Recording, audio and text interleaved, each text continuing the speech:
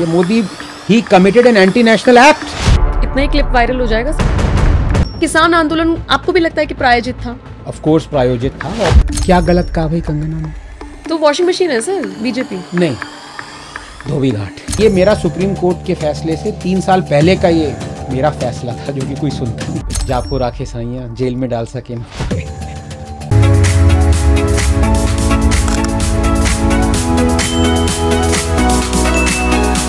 किसान आंदोलन, आपको भी लगता है कि प्रायोजित था?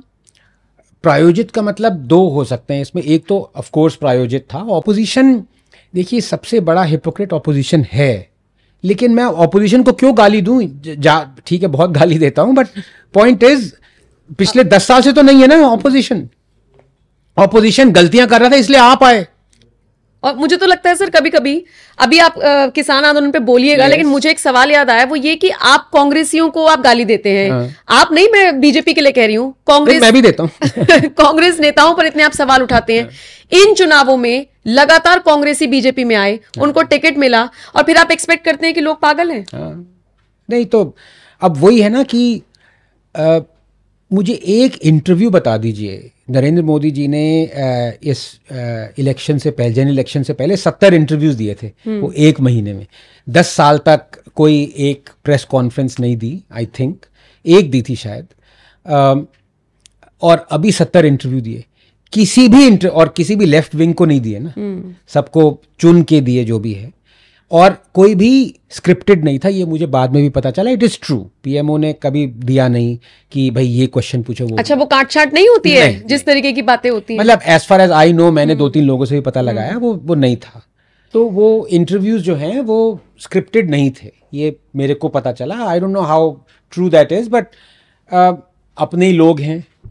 ये प्रॉब्लम है। किसी ने उनसे ये सवाल पूछा? किसी ने नहीं पूछा ना? जो आप अभी पूछ रही हैं। ये सवाल ज़रूरी है। किसी ने पूछा कि आपने नुपुर को क्यों सैक किया? क्या गलत कहा था नुपुर ने? कोई ये सवाल ही नहीं पूछ रहा है। कोई ये सवाल नहीं पूछ रहा है कि आप एक शाम को कहते हैं कि अजीत पवार जो है सत्तर हज़ार करोड़ का घोटाला जेल में डालो उसको। अगले दिन वो आपकी सरकार में आ जाता है। सत्तर इंटरव्यूज़ में से किसी ने पूछा उनसे ये? तो वॉशिंग मशीन है सर बीजेपी नहीं। धोबी घाट। वॉशिंग मशीन वो बेबीज होता है ना किड्स एडल्ट्स लेजेंड्स अब ये लेजेंड्स के उस पर आ गई। अब ये धो वो मुंबई में नहीं है एक धोबी घाट आपने देखा होगा उस पर सब लगे हुए हैं ऐसे कर रहे हैं। But that's the tragedy of this country you know people are asking these questions people are leaving it to the opposition to ask these questions but opposition is worse than the the government in this department. Opposition से बड़ा hypocrite नहीं है farm reforms की बात कर रही हैं। India के ग्रेटेस्ट रिफॉर्म्स ये फार्म रिफॉर्म्स थे। आई कंग्रेचुलेटेड नरेंद्र मोदी डंके की चोट पे खड़ा होकर रूफ टॉप से। इतने बड़े रिफॉर्म्स आज तक कोई नहीं लाया था। 250 मिलियन जो वर्क फोर्स है forty four percent of India's workforce which is five eighty five million total कई कहते हैं, अभी सिक्स हंड्रेड मिलियन हो गया है। उसका फोर्टी फोर परसेंट मतलब ढाई सौ million is involve in agriculture which is a sector that contributes only 14 to 14.5 percent to our GDP. हर चीज archaic medieval है they were crying out for reforms 70 million hectares of land agricultural land has been destroyed because of floods and drought in the last 6 years 110000 farmers have committed suicide in the last 10 years 81% of farmers and cropland is not insured पानी नहीं है सींचने को। Elements बारिश आती है बर्बाद हो जाता है। ओला मतलब this needed reforms and Narendra Modi brought those reforms but तभी तो कहता हूँ ऑपोजिशन से ज़्यादा जाहिल और मैंने लोग नहीं देखे। सॉरी इसका एग्जैक्ट मुझे मतलब नहीं पता इस वर्ड का पर ये दिमाग में आया तो मैंने यूज़ कर लिया। हो सकता है गलत जगह बैठ गया हो। बट ये तीनों रिफॉर्म्स वर्बटिम ऑपोजिशन के मैनिफेस्टोज में थे। वर्बटिम 2019. 19 के कांग्रेस के नंबर 11 नंबर 19 में तो पूरा देख चुका हूँ मैं। अच्छा। पहला रिफॉर्म ये था मोदी का कि एपीएमसी जो गवर्नमेंट मंडीज हैं उसमें फार्मर्स अपना बेचना चाहें तो बेचें जो कि कर रहे थे पर प्राइवेट मंडीज में भी बेच सकते हैं। ठीक है। क्यों ना बेचे भाई? कोई आप बिजनेसमैन हैं आपने कोई प्रोडक्ट बनाया आपको कैसा लगेगा कि सरकार के नहीं तुम्हें अमेजोन पे नहीं बेचने देंगे हम हम सरकारी वेबसाइट पे बेचो। जो कि 24 घंटे में से 50 मिनट काम करती है बाकी ये नहीं करती। Would the businessman like it. No तो आ, हमने क्यों सोच लिया कि फार्मर्स वुड लाइक इट हम कौन होते हैं भाई? मतलब फार्मर बिजनेसमैन नहीं है। वही ना मनोज कुमार के गाने सुन सुन के धरती सोना उगले। फार्मर्स खुद कह रहे हैं। They were crying out for these reforms farmers को दिए नहीं। हम we know better than farmers क्यों भाई? तुम कौन हो? पहला रिफॉर्म ये था। कांग्रेस तो चाहती थी, उनका मैनिफेस्टो एपीएमसी को ही हटा देंगे। मोदी ने कम से कम चॉइस दी थी। कांग्रेस वो सेइंग एपीएमसी हटा दो। प्राइवेट मंडीज में डालो।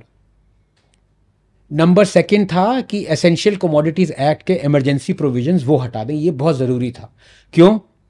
क्योंकि हमारा 74 million tons of Indian produce goes waste every year 70 million tons क्योंकि गोडाउन नहीं है हमारे पास। गोडाउन क्यों नहीं है? क्योंकि ये ब्यूरोक्रेटिक सेटअप कभी भी स्टोरेज को होर्डिंग में बोल देता था। स्टोरेज होती है एक चीज़ उसको ब्यूरोक्रेटिक स्पीक में आपने होर्डिंग कह दिया तो आप पे नॉन बिलेबल वारंट डाल दिया कि ये तो होल्ड कर रहा है।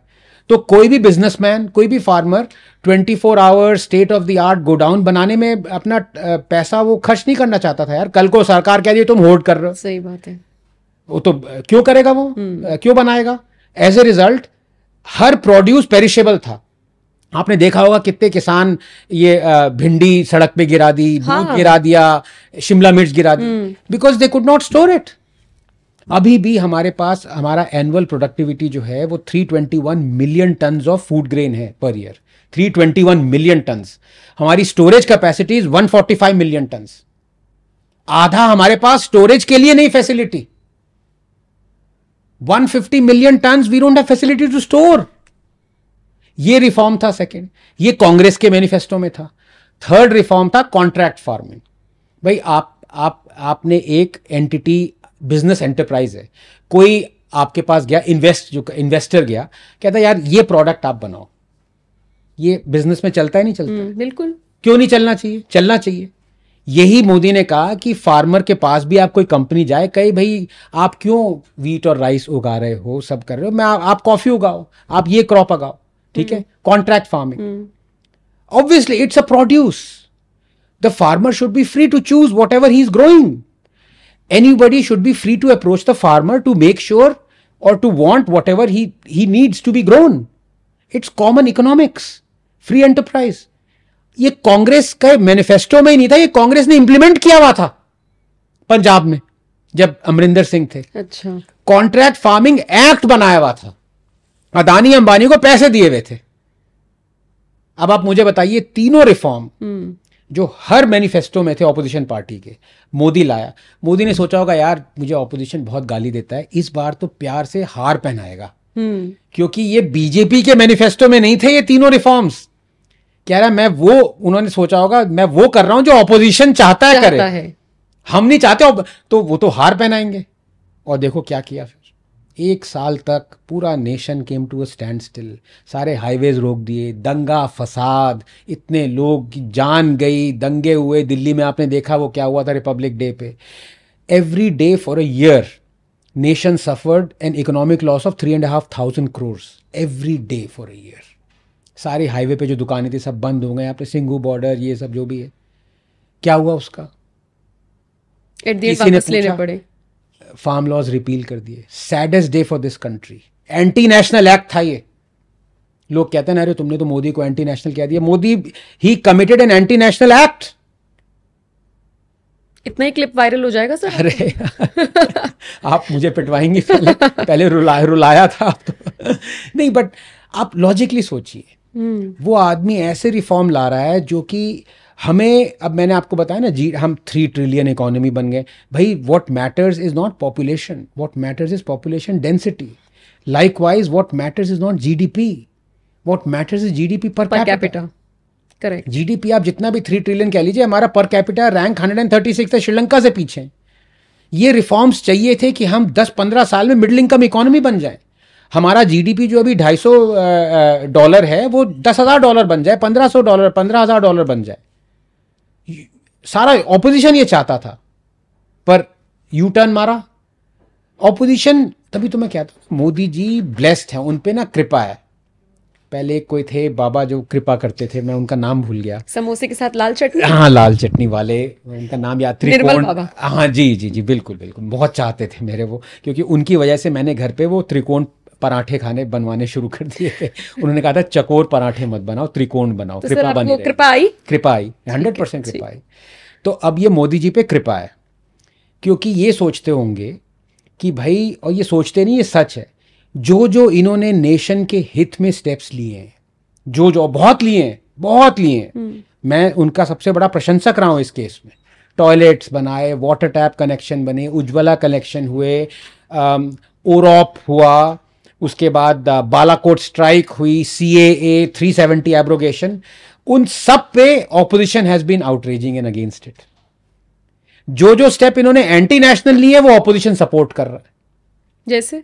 ये फार्म लॉस का रिपील लेकिन सर एक बात बताइए अगर सरकार कोई कानून लेकर आ रही है या मोदी चाह रहे हैं कि ये चीज़ आए और उसको लेकर लगभग एक साल तक प्रदर्शन हुआ तो ये भी तो सरकार का ही फेलियर है कि आप 100% आप किसानों तक अपनी बात नहीं पहुँचा पाए और विपक्ष ने इतने अच्छे से पहुँचा दी कि एक साल तक ये प्रदर्शन चला है। सी देखिए पहली बात तो किसानों तक आपको बात पहुंचानी ही नहीं थी क्योंकि किसान ये कह रहे थे किसानों की बात अब आपने सुनी साठ साल बाद भाई उल्टा चल रहा है। फिर आप मुझे बताइए साठ साल से किसान कुछ कह रहे हैं आपने सुनी नहीं आपने कुछ आप पॉलिसी लाए और आप कह रहे हैं किसानों ने हमारी बात नहीं सुनी व्हाट द हैक अरे भाई आपने सुनी साठ साल बाद किसानों की बात है। अब मैं बताऊँ सबसे देखिए पॉलिटिशियन को मैं कभी भी उनकी बात को वैल्यू नहीं देता। क्योंकि नंबर वन हिपो उनकी नसों में हिपोक्रेसी चल रही है। अगर आप ये ब्लड लें उनका और वो टेस्ट कराएँ लिवर फ़ंक्शन ये फ़ंक्शन वो फ़ंक्शन सो हिपोक्रेसी हीमोग्लोबिन का कंटेंट से ज़्यादा शायद ये एलिजिबिलिटी हो एक पॉलिटिशियन बनने की। शायद नहीं। ये है। ठीक है? तो मैं उनकी बात पे ज़्यादा आई डोंट ब्लेम देम यार। वो उनको इलेक्शन जीतना है किसी को भी इतनी सारी स्कीम सब everything is oriented towards winning सबसे दुखद बात ये थी सुप्रीम कोर्ट ने फार्म लॉज को स्टे कर दिया।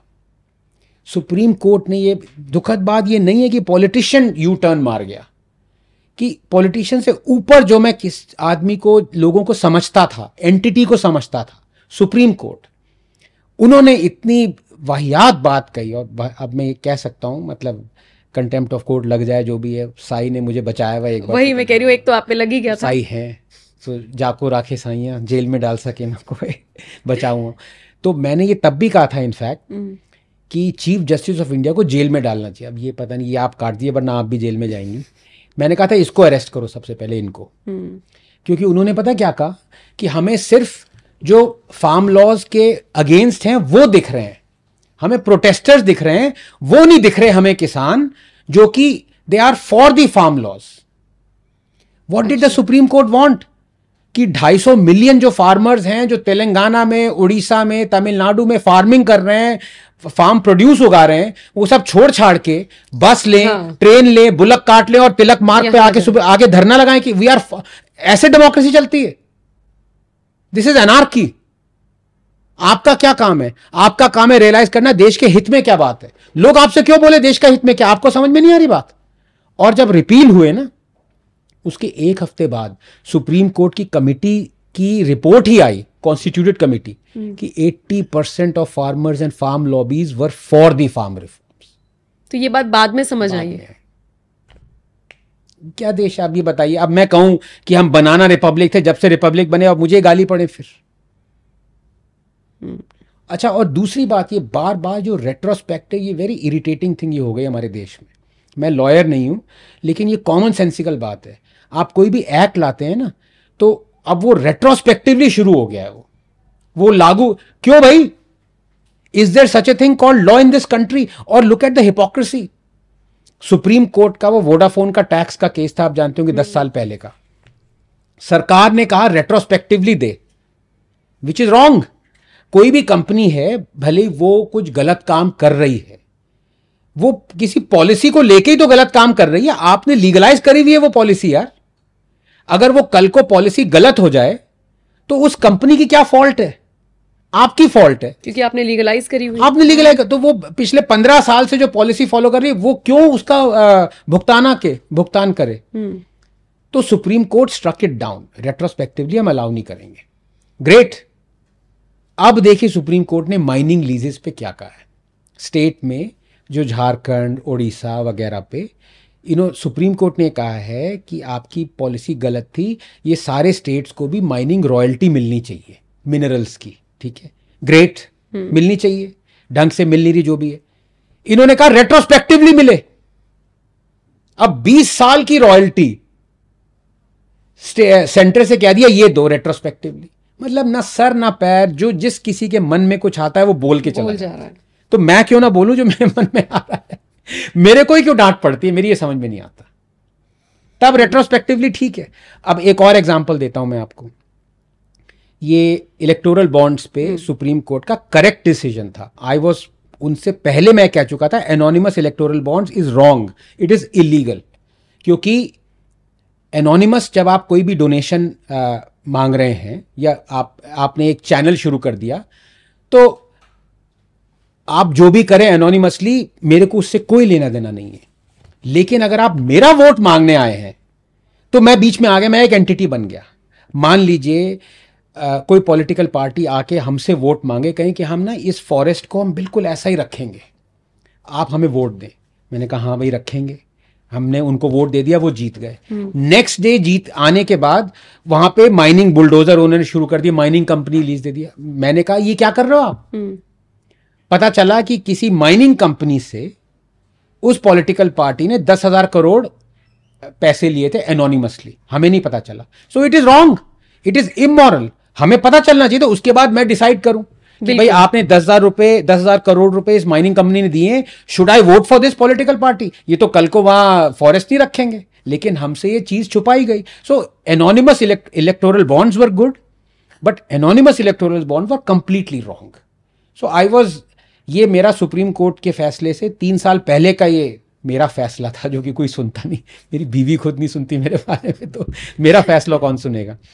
ये मैंने दे रखा था। हम्म। सुप्रीम कोर्ट ने कहा ये यही होना चाहिए ग्रेट।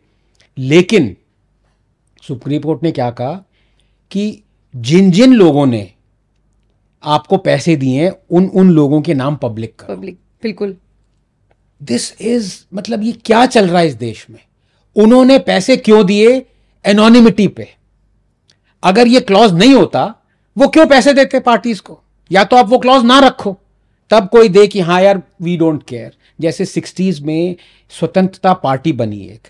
तो टाटा जेआरडी ने कहा नेहरू से पहले जेआरडी नेहरू कांग्रेस को पैसे देते थे ओपनली उन्होंने कहा देखो ये नई राजा जी बना रहे हैं party and there should be a good opposition so I am going to give money to them also openly he said it JRD and he gave money to Swatantra party also either you do that but there are hundreds of thousands of people who are enamoured by the fact by hook or by crook आप जो भी कह लीजिए immoral कि भाई ये party power में आ गई हम इनको पैसा देना चाहते हैं अपना काम। आपने ये लीगलाइज किया हुआ है कि आप यू आर एनोनिमस डोनर अब सुप्रीम कोर्ट कह रहा है कि नहीं उनके नाम डिक्लेयर बिल्कुल। और सरकार चुप है। क्योंकि मैं वही अब मैं सरकार के लिए भी कहूँ चार नींबू निचोड़ के भी दूध इतना नहीं फटता जितना आगे की लाइन समझ आगे की